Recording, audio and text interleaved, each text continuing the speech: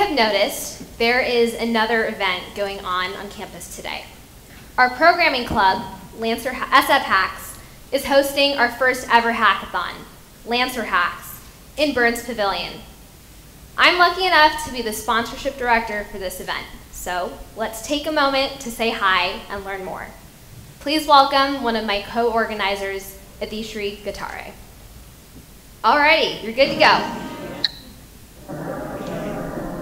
Go ahead. Thanks, Aishani. Hi, everyone. I'm Adishri. Welcome to Lancer Hacks. In case, for those of you wondering, a hackathon is an event where students work together in teams to brainstorm, create, and present some game or program. At Lancer Hacks, students also participate in workshops sponsored by various companies, programming challenges, dodgeball, and cup stacking. Right now, people are trickling in back after lunch and are working on their projects with their teams. At Lancer Hacks today, we have 124 people, 35% of whom are female. This is actually a very impressive figure. Even though we live in Silicon Valley, there's a huge gender gap in technology. On the organizing team for this event itself, Aishani and I are two females of 12 total team members. This disparity can be quite intimidating, especially at first. With these situations, it's important to remember to keep the bigger picture in mind and build upon the opportunities you receive. In this scenario, specifically to advance girls and women in computer science and other STEM fields. It is my pleasure to introduce your next speaker, who has faced this issue of a lack of women in tech, but is here today to share with you her insight and growth from such experiences. Please welcome freshman Maya Chandra.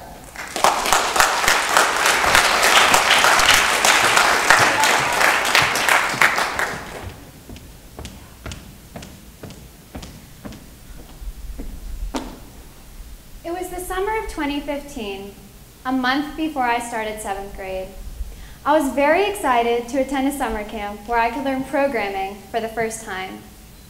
As I walked through the parking lot and into the camp, I noticed something wasn't right.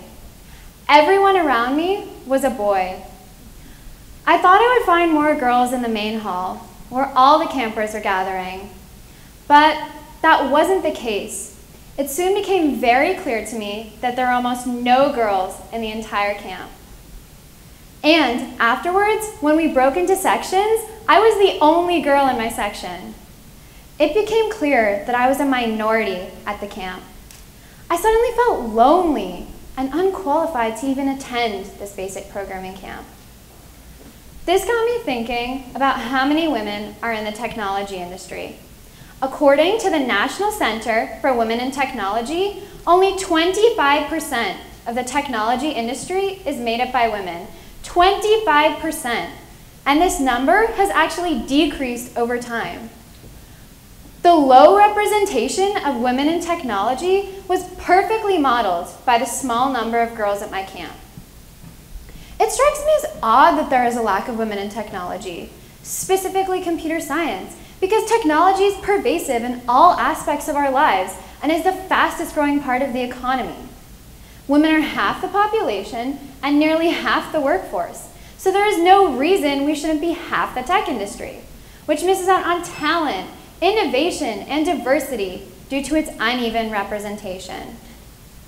So, where are the women in technology? Why are they hard to find? And how can we fix it?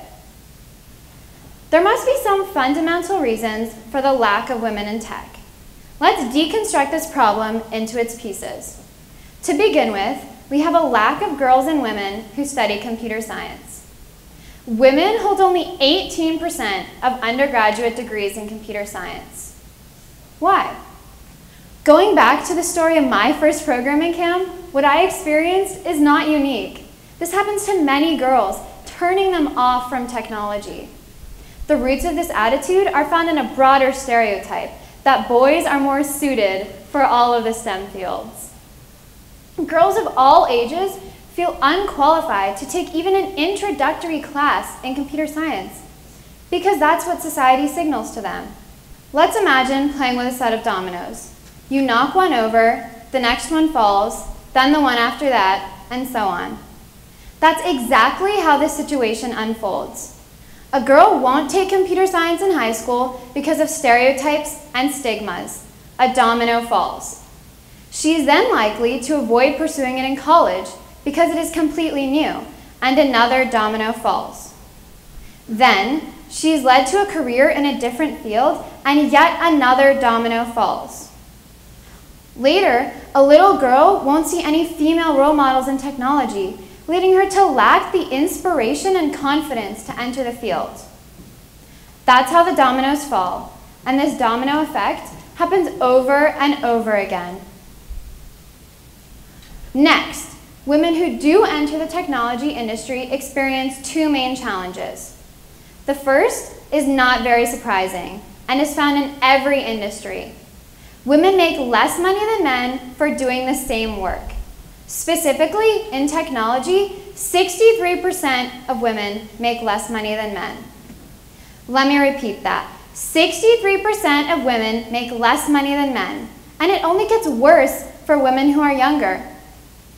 Also, women in this industry face an unwelcoming environment with issues ranging from stereotyping to sexual harassment. One high-profile harassment case was Susan Fowler at Uber, whose report led to widespread changes both at the company and throughout the tech industry.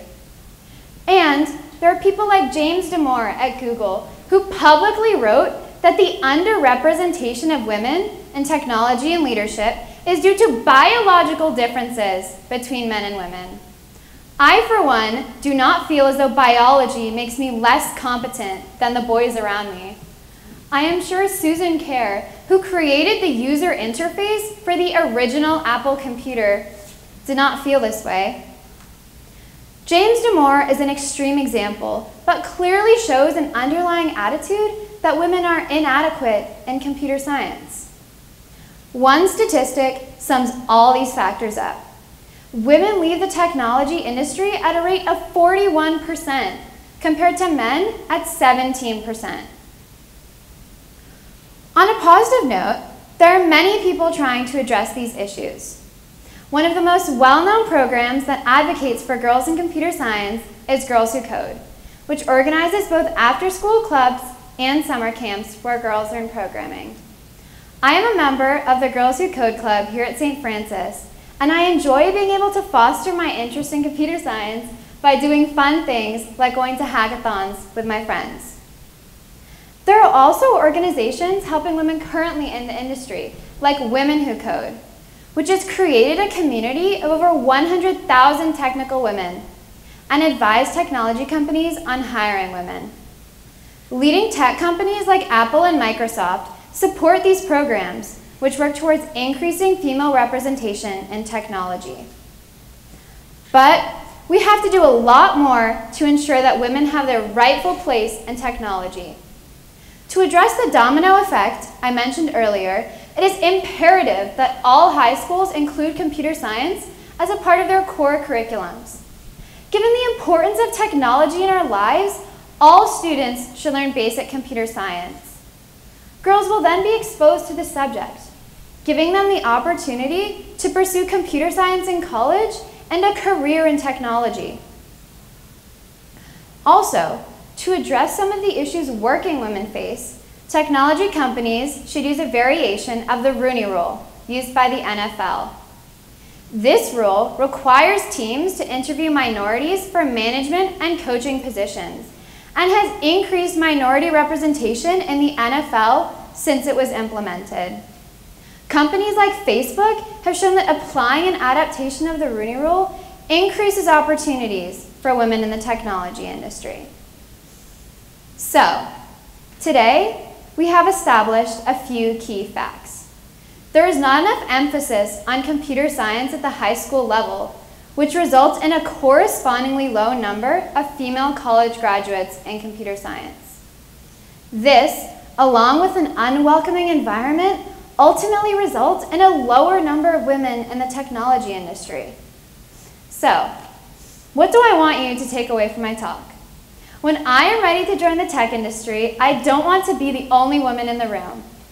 I ask all of you to encourage girls around you with an interest in computer science to follow their passion.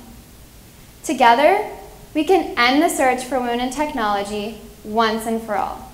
Thank you.